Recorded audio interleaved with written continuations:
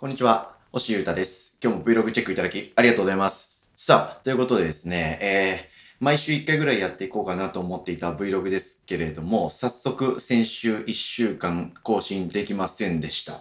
これはまずいということでですね、今週もこのまま行くと、うっかり忘れちゃうと思いましたので、さっくり、どんどん、気楽にアップしていこうと思っておりますので、今週もお付き合いよろしくお願いします。先週はですね、あの、毎週水曜日にやっている生配信のボブスレーラジオをですね、火曜日にやりまして、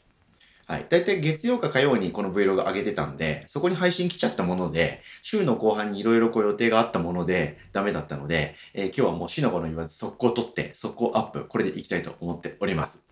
さあ、ということでですね、えーこの Vlog は僕の活動を振り返るとともに何かあったことで、これはっていうことがあったら喋っていこうかなというふうな、本当に文字通り Vlog ですね。はい。音声によるブログという感じのやつでございますので、えー気楽にやっていく予定です。はい。え前回の Vlog, Vlog からですね、今回の Vlog の間に、えー起こった大きなことと言いますと、僕がやっているダルジャブステップクラブというバンドの新作リリースありました。はい。えーそして僕がやっているソロの音楽プロジェクトのボズニャックのですね、ライブがありました。大きくこの2つだと思いますので、えーこれをエクストリームに、え解説して振り返っていきたいと思っておりますので、よろしくお願いします。はい。星優太編ってやつですね。よろしくお願いします。えーまずはダルジャブステップクラブの新曲からですね。はい。えー各種サブスクリプションサービスに配信されているんですけれども、タワーという新曲、皆様聴いていただけておりますでしょうか ?5 月20日のお金曜日に、えー配信開始されましたので、えーこれ撮ってるのが今、えー5月の23日なので、まだ1週間経ってないですね。まだ4日 ?0123、4日しか経ってないんですけれども、いかがでしょうか？皆様聞いていただけているんでしょうか？もし、えーまだ聞いてないよという方はですね、概要欄に、えーリンク貼っておきますので、えーぜひ聞いてみてください。Apple Music とか、Spotify とか、それ系のやつ大体入ってますので、ぜひ聞いてみてください。新体制の一発目ということでですね、えーもうご存知の方多いかもしれませんけれども、えー活動2、3年目ぐらいからですね、加入した、ラップシンセサイザーの森信玄が、脱退しまして、初期のメンバーに戻りまして、ドラムのごっちゃんと、ベースのベンツさんと僕、星歌、この3人の編成に戻りまして、活動をま再開するという感じで、やっていこうと。それの、でそこの、そこの新体制になってから、えーちょっと曲作ろうやということで作ってる曲っていうのがいくつもあるんですけれども、そのうちの1曲目ということで、えーなので、その他の曲ももうライブでやってますし、これから、えリリースすることになるとは思うんですけれども、その一発目ということで、まずはタワー、リリースさせていただきました。はい。えいろんな、まあ、狙いというか願いみたいなのはあるんですけど、え今いろいろ作っている、その、新体制になってからできている曲とか、これから出していく曲の中でですね、まあ、まず一発目に出すのはこれが良いのではないか感が、えーいろんな側面から見ましてありましたので、えータワーという曲から行ってみたんですけれども、皆さんいかがでしょうか？はい。えー僕ら、ダルジャブステップクラブの面々、そして僕と的にはですね、えー面白い曲ができたのではないかなと思っております。はい。で、他の曲もすごく面白いんですよね。で、何が面白いかっていうと、えーその曲の作り方が実は結構独特でですね、ちょっと、えー新しい曲の作り方にチャレンジをしておりまして、えーそういう風な方法論でですね、え曲を作ったのが初めてだったんですごいエキサイティングなんです。まあこれは僕らの内側の話なので、え皆さんそれを知って、え頑張って作ったから聴いてくださいとか、かっこよく思ってくださいっていうつもりもとありませんので、いいんですけれども、なんかこう、変な曲ですよね。うん、奇妙な曲というか、不思議なバランスの曲だと思っていて、そしてそれでいいんじゃないかと思って作っているので、その辺をですね、ぜひニヤニヤしながら体感していただけたらなと思っております。あの、ダルジャブの3人で、えーダルジャブのばあ YouTube のアカウントもあるので、そこで喋ったりもまあまあするんですけれども、まあそこでですね、まあいつか、あこの新曲、新シーズンの最初の新曲たちの曲の作り方のことをですね、話す機会があれば、その時は話そうかなと、みんなでね、笑いながら話そうと思いますので、えーダルジャブのチャンネル、YouTube チャンネルとか、僕らの活動も楽しくチェックしていただけたらと思いますけれども、どうでしょうね。現状4日経ちまして、えー、いろんなサブスクでですね、いわゆるプレイリストっていうのがあるんですけれども、えー、それにですね、結構入っているような気がしていて、えー、嬉しいです。はい。あと、待ってたよっていう方とか、あ、こんな感じなんだとか、え、いろんなあ声をですね、え、耳にしますし、目にします。エゴサーチなんかでですね、えー、僕はさすがにチェックしてますので、いろんな方が、えー、ツイートしてくれてるのとかを見て、ホクホクしております。すごく嬉しいですね。はい。で、あの、信玄がね、いた頃は、まあ、信玄はキャラも強いですし、まあ、キャッチーですし、えー、まあ、あの、彼の世界観が好きだったとか、ラップが良かったという方もいらっしゃるでしょうし、印象残ってるという方多いでしょうし、えー、あの状態がダルジャブステップクラブだでしかないという認識の方もすごくいらっしゃると思うので、そういった方々からすると、えー、信玄いないし、かといってなんかインストになったわけでもなく、なんか人の声みたいなのはするけど、これは何なのと。なんかもうすごいダルジャブ変わっちゃったねって思ってる方ももちろんいらっしゃると思うんで、えー、それはそれでもう全然ウェルカムで、ございますし、えー、僕らも、なんというか、信玄がいなくなっちゃったあ代わりで僕が歌ってるとか、うん。信玄辞めちゃったけど、なんとかあの時の形をキープしようと思って活動していないので、えー、まあ、あれは、今までは今まで、これからはこれからっていう感じで、えー、楽しく僕らもやっていこうと思ってますので、皆さんもその辺を、もしご理解いただけてですね、その上で楽しんでいただけたらね、すごく嬉しいんですけれども、どうでしょうかね。えー、その辺の感想とか皆様、ぜひ、えー、コメントしてください。まあ、YouTube にここにコメントするの結構ハードル高いと思いますんで、SNS でですね、えー、僕に届くように、えー、ダルジャブとか、ダルジャブステップクラブとかってつけていただいたり、僕をタグ付けして、えー、ツイートとかしてくれたら、探しに行って、えー、喜びに行きますので、ぜひチェックしてください。すごく励みになりますので。うん。なんか僕の知らない方なんですけれども、ツイッター見ていましたら、すごく音楽好きそうで、新しく知った、あの、刺激的な音楽を結構紹介発信していらっしゃる方がいてですね、その方がブログに書いてくれていてですね、その方がですね、まあ、いろいろいっぱい書いてくれてたんですけれども、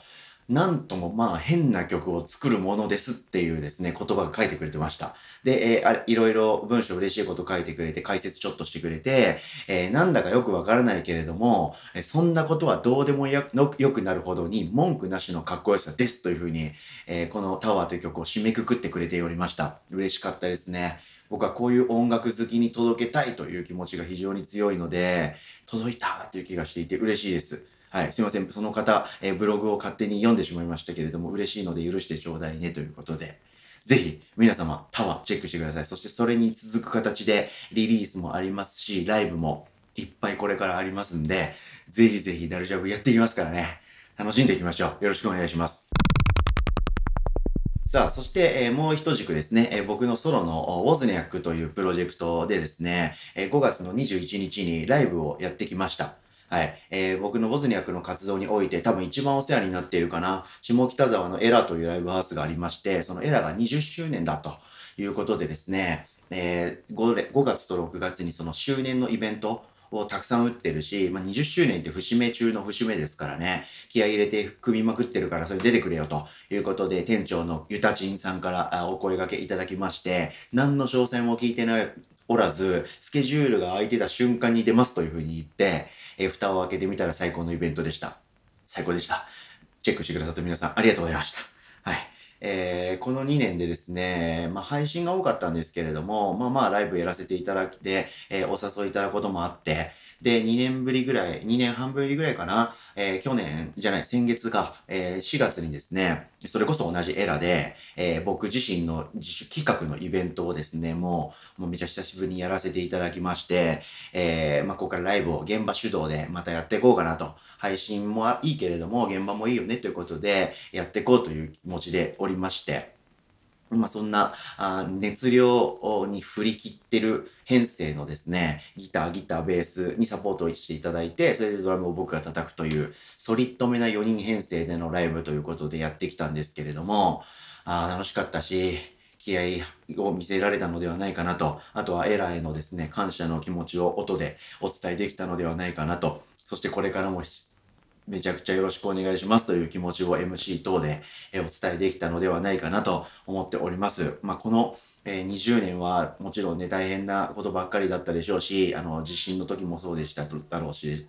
地震の時もそうだったでしょうし、で、この2年のね、コロナの大波乱もそうでしょうし、そこをサバイブしてるっていうのは本当に尊敬ですよね。うん、僕もそれになんか、あビビビビビビ力ながら、えー、何か協力できることがあれば、これからじっくり恩返ししていきたいなと思っておりますので、エラと一緒にこれからもオズニャクやっていきたいなと思っております。そしてサポートしてくれているですね、ギタリストのシュン・ハシモ、そしてギタリストの藤谷慎吾、そしてベーシストの氏家拓人ですね。まあ、その他にもいろんな人が、えー、サポートに入ってくれるんですけれども、ここ最近のライブですね、先月と今月のウォズニャックのエラでのライブはこの3名にサポートいただいた4人編成でやったんですけれども、えー、まあ、ギター、ギター、ベース、ドラムという編成でですね、できる、今の僕が作っているオズニャックの曲をやるライブっていうのは割となんか完成したような気がしました。なんとなく僕の中で。はい。で、エラの店主ゆたちんさんからもですね、ライブ終わりで喋っていたらそんなことを言ってくれてですね、嬉しかったんですけれども、嬉しかったとともにですね、完成したっていう思った方がいるってことは、次に行きたいよなという気持ちが出てきますよね。うん。で、えー、実際これからですね、リリースが、リリースシーズンが始まりますんで、新しい曲が皆様の耳にどんどん届くことになるんですけれども、それはですね、えさっき言ったギター、ギター、ドラム、ベースっていう4人編成ではですね、できないんですよね。はい。えまあ、フィーチャリングでボーカルが入ったり、ラップが入ったりとか、歌が入ったりとか、シンセサイザーが入ったりとかしたり、打ち込みがもしかしたらあったり、なんやかんやがあったり、え、する。そんな曲をですね、次はやりたいなっていうフェーズに僕突入してますんで、そのどれだけを毎回のライブでできるかっていうのはわからないので、えー、その辺はやりながら、考えながらやっていくんですけれども、次なるフェーズに向けてですね、また制作して皆様に届けてライブでは楽しんでいきたいなと思っておりますので、引き続きそっちもチェックよろしくお願いします。つう感じでしょうかね。うん。そしてここからですね、まあ、えー、先週の後半ぐらい、その、ウォズニャクのライブが始まったぐらいからですね、えー、ちょっと僕の現場とか配信での活動が増えていきます。はい。えー、今週の水曜日ですね、えー、5月25日はですね、ダルジャブステップクラブでライブ。はい。えー、そこからその週の土日、土曜の9時から日曜の夜9時まで24時間、えー、僕の大好きなトリコというバンドのですね、YouTube チャンネルで、トリコが24時間生配信っていうのをやるんですけれども、それで僕、司会で お呼ばれしまして、えー、みんなと一緒に、えー、喋りまくろうと思っております。まあ、何かをやる24時間起きて頑張るみんなをですね、盛り立ててリスナーの皆様、見てくれてるみんなと繋ぐ役目ができればなということで、えー、喋りまくろうと思っております。MC です。はい。えー、トリコの4人はですね、24時間寝てはいけないらしいんですけれども、そしてなぜか司会の僕も寝ちゃいけないらしいので トリコのみんなと僕は心中する覚悟でですね、生配信かましてこようと思っております。ぜひチェックしてください。はい。え、からのその翌週ですね、6月の4日の土曜日は、お昼からですね、これまた下北沢エラで、ダルジャブステップクラブのライブがあり、その次の日の6月5日はですね、配信用のサポートをしてくださっているフレンドシップが主催のですね、えー、イベントにウォズニャックのソロで今度はお呼ばれしましたマシンセットでございます。はい。ライトとかダウニーとか、えー、もうそうそうたるメンツがですね、渋谷の新しいエリアでですね、いっぱいライブやるんですけれども、その中に僕も混ぜていただいて、えー、出ますので、そんな感じですね、チェックしてくださいっていう案件、目白押しとなっております。で、その週、その次の週ぐらいにオズニャックの新シーズンの一発目のリリースがあったりしますので、春、夏からですかね、2022年はやっぱり忙しくなるぜという感じで、楽しい年が巻き起こっていくのではないかと僕自身思っております。皆様にとってもそうであれば、これ幸いでございます。そして、そういうのもですね、流れ去らないように、日々の Twitter とか Instagram とかもいいんですけれども、こういう映像メディアとか、